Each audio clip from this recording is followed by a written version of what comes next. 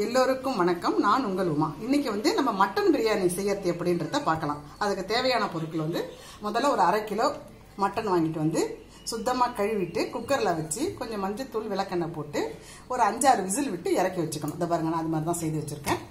ரெண்டு டம் அடுத்து அரிசி. ரெண்டு டம்ளர் பச்சரிசிங்க. அதாவது சீரக சம்பா அரிசி. இது வந்து ஒரு டம்ளர் இரநூறு பிடிக்குங்க. நானூறு டம் நானூறு கிராம் அப்பனா. ரெண்டு டம்ளர் அரிசி போட்டிருக்கேன்.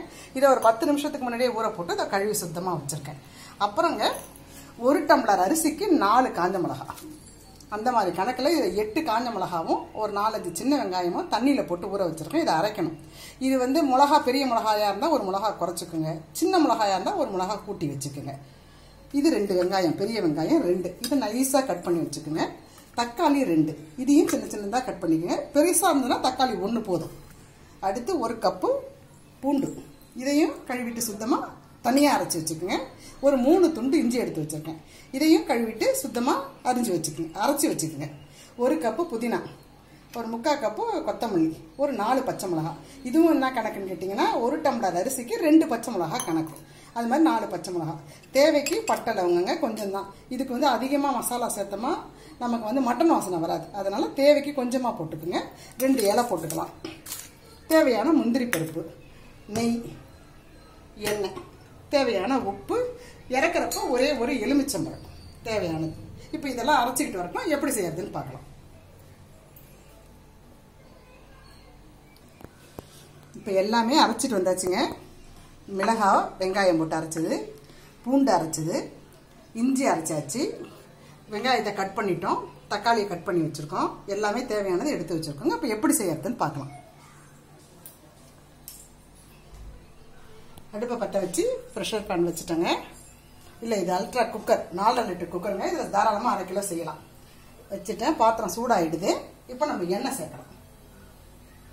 வாங்க ஒரு அரை கப் எண்ணெய் தான் போட்டிருக்கேன். ரொம்ப போடக்கூடாது. ஒரு அரை கப் எண்ணெய். இது என்ன ஒரு மூணு குழிக்கரண்டி இருக்குங்க. அவ்வளோதான் போட்டாச்சு. கொஞ்சம் நெய்.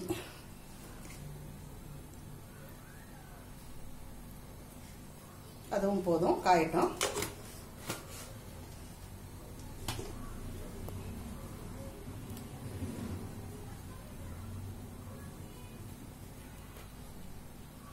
பாருங்க இப்போ முதல்ல நம்ம பட்டை லவங்கத்தை சேர்க்கலாம். என்ன காஞ்சிடுது? பட்டை லவங்கத்தை சேர்த்தாச்சு. கூட அந்த இலையை போட்டுக்கலாம். சும்மா ஒரு நாலு வெங்காயம் ஒரு கைப்பிடி அளவுக்கு வெங்காயம் போட்டு அது கூட வளர்க்கலாம்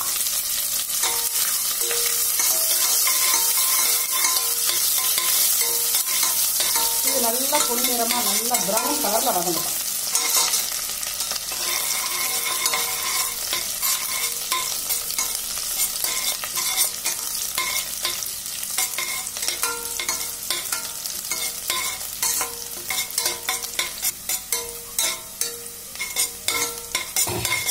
வெங்காயம் நல்லா ப்ரௌன் ஆயிடுச்சு பார்த்தீங்களா இப்போ வந்து இந்த பூண்டை சேர்த்துக்கலாம்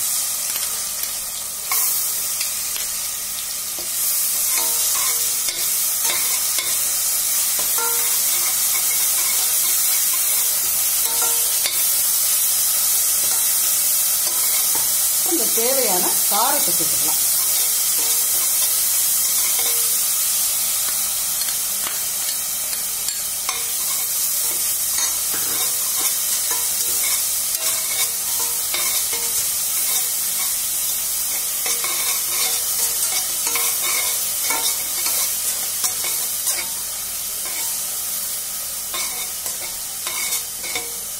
இப்போ இந்த கட் பண்ணி வச்சிருக்க வெங்காயத்தை சேர்த்துக்கலாம்.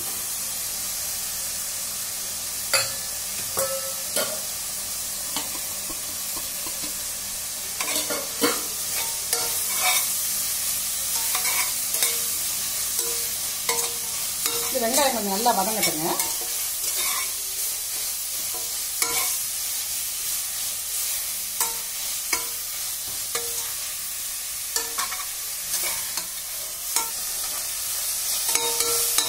வெங்காயம் நல்லா வதங்கட்டுங்க இன்னும் கொஞ்சம். இந்த நேரத்தில் நம்ம இந்த முந்திரி பருப்பு சேர்த்துக்கலாம்.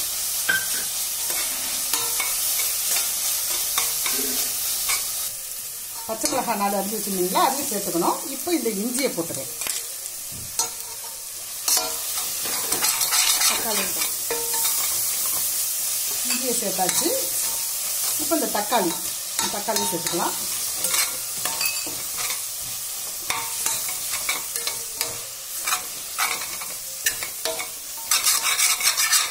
இப்போ நம்ம ஒரு ஸ்பூன் தயிர் சேர்த்துக்கலாங்க.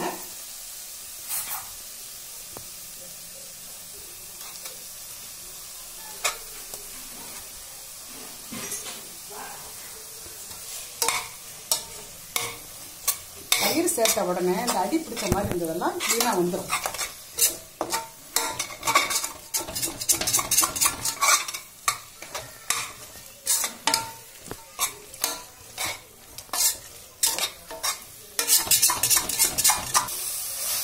எல்லாமே நல்லா வதங்கி அழகாக வந்துச்சு பாருங்க. இப்போ இந்த மாதிரி நேரத்தில் நம்ம இந்த புதினா கொத்தமல்லி ஒரு ரெண்டு ரெண்டு கருவேப்பிலை எல்லாத்தையும் போட்டு ஒரு வதக்க வைக்கணும்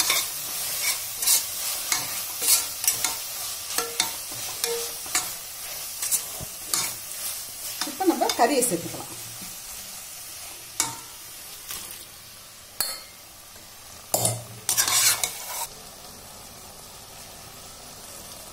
இப்போ நம்ம ரெண்டு டம்ளர் அரிசி எடுத்துருக்கோங்க. கறியில் வெந்த தண்ணி ரெண்டு இதுக்கு ரெண்டு டம்ளர் அரிசிக்கு நம்ம மூணு டம்ளர் தான் தண்ணி விடணும். கறியில் வெந்த தண்ணியே ரெண்டு டம்ளர் இருந்ததுங்க அதை சேர்த்துக்கலாம். இப்போ எக்ஸ்ட்ரா ஒரு டம்ளர் போட்டுக்கலாம்.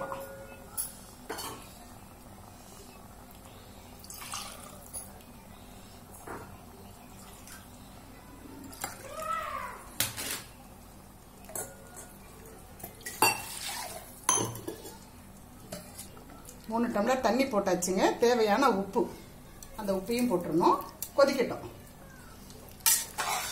கொதிச்சதுக்கப்புறம் அரிசியை சேர்த்துட்டு வெயிட் போடாமல் ஒரு பத்து நிமிஷம் வேக வைக்கணும். இது கொதிக்கட்டுங்க. அரிசி சேர்க்கணும்.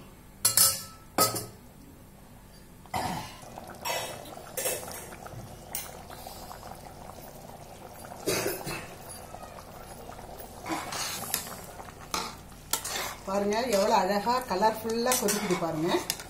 ரொம்ப ஜோராக வந்திருக்கு. வாசனை மூக்க தொலைக்குதுங்க. ரொம்ப நல்லா இருக்கு. இப்போ நம்ம அரிசியை சேர்த்துடலாங்க இப்போ நம்ம அரிசியை சேர்த்துக்கலாங்க. தண்ணியை வடிகட்டிட்டு போடுங்க. ஒரே இடத்துல போடாதீங்க. கலந்த மாதிரி போடுங்க.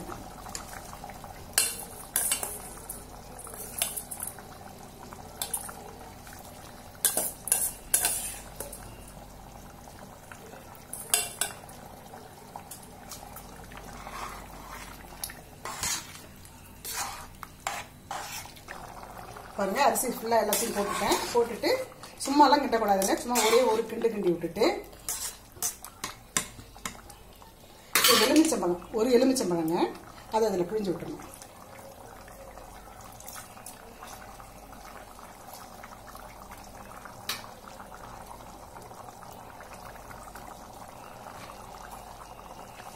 ஒரு எலுமிச்சம்பழம் ஒரு ஸ்பூன் நெய் மேலே விடலாங்க.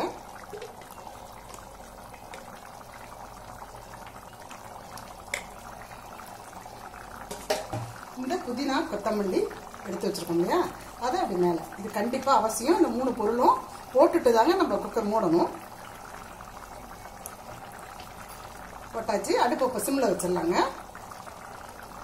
சிம்மில் வச்சு மூடி பத்து நிமிஷம் கழிச்சு திறக்கணுங்க. இப்போ குக்கரை மூடியாச்சுங்க. கேஸை ஸ்லோவில் வச்சாச்சு. வெயிட் போடக்கூடாதுங்க. பத்து நிமிஷம் இது வேகட்டும். பத்து நிமிஷம் கழிச்சு நம்ம திறந்து பார்க்கலாம்.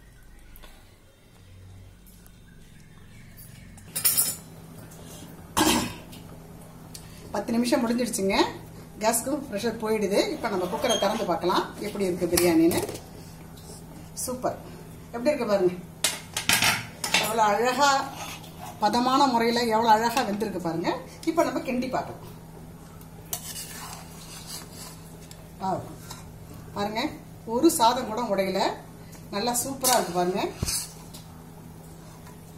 இதை நம்ம வேற பவுலில் மாற்றிடலாம் சூப்பரான மட்டன் பிரியாணி தயார். சுவையான மணமான மட்டன் பிரியாணி தயார். சீரக சம்பா அரிசியில் தயாரிச்சதுங்க. ரொம்ப அருமையாக மணமாக பார்க்க ரொம்ப அழகாக இருக்கு பாருங்க மட்டன் பிரியாணி. ஒரு இருபது நிமிஷத்தில் நம்ம செய்துட்டோங்க. அதுக்கு தேவையான ரைத்தா. ரெண்டையும் சேர்த்து சுவைச்சா ரொம்ப அருமையாக இருக்குங்க. நன்றி வணக்கம்.